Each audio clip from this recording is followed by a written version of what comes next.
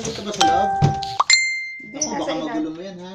Nasa ilalim. Hindi na mapapasok dyan. Sa ilalim nga daw. Angat mo para nandun pa. O, naamoy niya. Hmm. Nandoon sa gitna. Hmm.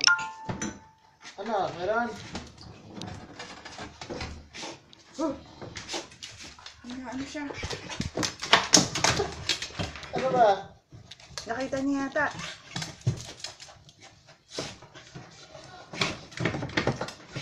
Ano? Baka nasa loob. Ha? Ewan ko, naamoy niya eh. O, silipin mo nga. Ikaw may mata ka. Wala naman. Wala dyan. Wala, ano naamoy nito? Wala sa loob. Baka pumasok sa loob. Ha? Baka pumasok sa loob dito. Pakutin yan.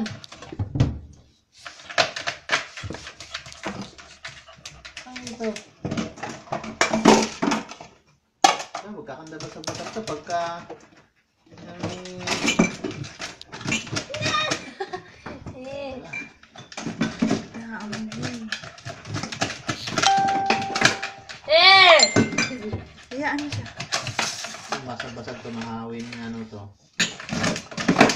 Wala dyan. Nakasarado yan kanina pa. Sarado Ano yan? Balik mo na. Ano? Huli mo? Hindi na ano, hinamay. Ano? Ano dyan? Oh. Hmm, kagatin mo!